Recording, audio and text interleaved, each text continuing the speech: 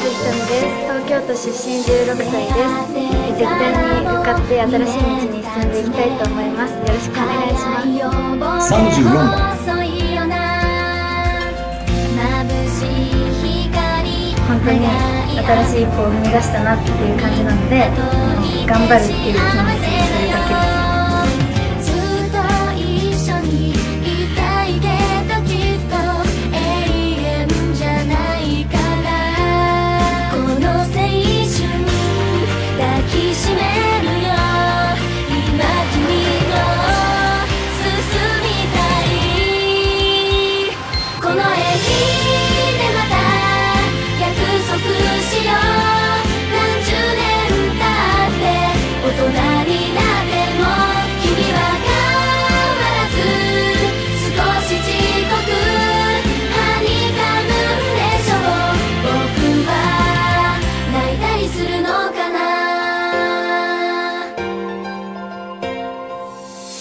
友達じゃない。家族じゃない。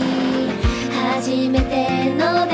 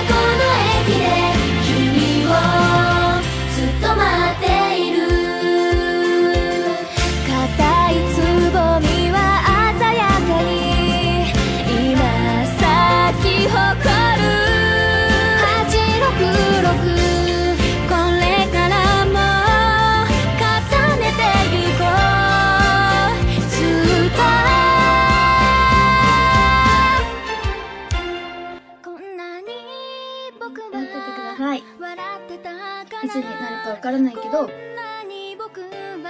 皆さんが待っててくだ。さったら嬉しいです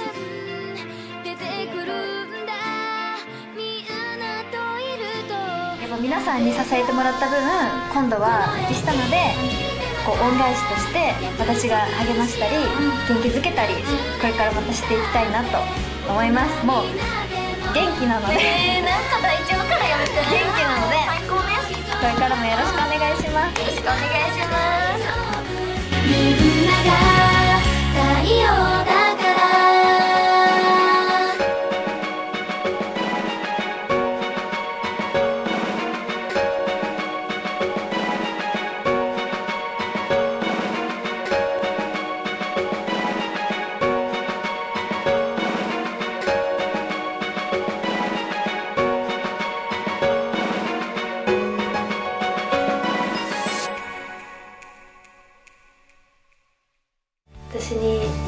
の